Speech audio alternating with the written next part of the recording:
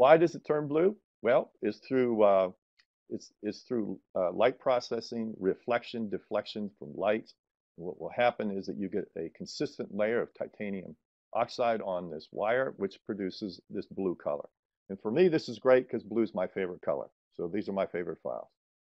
Um, various uh, uh, research papers have been done uh, concerning comparing the Vortex Blue, nickel titanium, and M-wire. Um, and they have found that the Vortex Blue showed a greater resistance to cyclic fatigue and greater flexibility when compared to M-wire instruments. And you can see here in this graph uh, comparing steel, um, super elastic uh, stock nickel titanium, M-wire, and the newest blue wire that in the characteristics of flexibility, torque strength, and cyclic um, fatigue reduction, that um, cyclic fatigue resistance, that um, the M wire or the uh, blue wire outperforms definitely the steels and the stock nickel titanium and even the M wire. So again, take advantage of the engineering and the technol technological principles that we are presented with in our profession. If you can do the procedure with a safer wire, why aren't we using it? That is my, that's always been my point of view on this. So I always try to keep up on the safest, most dependable uh, uh, uh, technology that we can use. And this is definitely a characteristic of this new blue wire, this new Vortex Blue instrument. Cyclic fatigue testing, um, the Vortex Blue versus profile Vortex and the twisted file. And once again, no matter what the taper or the tip size, the Vortex Blue is outperforming the other three files. So again, take advantage of those engineering principles and the technology we have. You can get anywhere from a 65 to up, up to a 300% um, increase in um, uh, versus increase in safety versus the profile vortex uh, or the M-wire for cyclic fatigue and a 37 to 180% versus the twisted file. So again, the technology is working for us. How about torque fatigue? Um, well, again, once again, Vortex Blue outperforms the, the others. Um, and again, in various diameters and tip taper.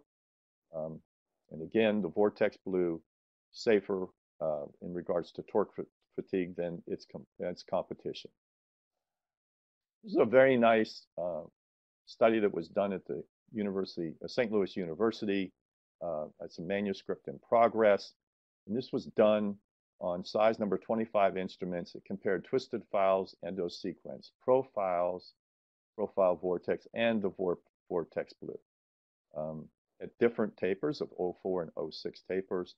And they tested various instruments in a very scientific, very reproducible um, custom apparatus. Um, the files were rotated and then made to go around a certain curvature until fracture. And it was recorded as a cyclic fatigue.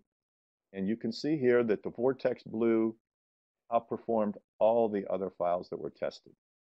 Um, compared to the original profile, it's almost 100% better than the, the original profiles.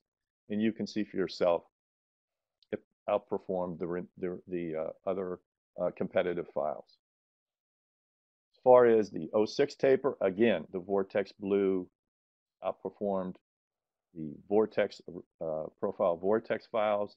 And again, almost, again, a 100% increase um, in 06, 06 uh, tapered cyclic fatigue resistance uh, versus the uh, original profile instruments.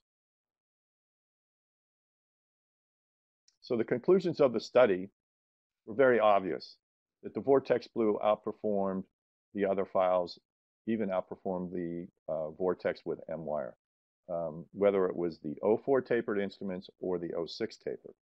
Interesting observation was that the 04 tapered instrument were, were more resistant to cyclic fatigue than the actual 06 tapered instruments, which is something that I like to take advantage in my in my variable tip variable taper sequence. I like to finish apically with 04 tapered instruments and um, I like the I just like the aesthetic quality of of the uh, of the uh, instrument instrumented canal, but also to me in my hands, it, it feels like it's a, it's a safer uh, uh, apical uh, file.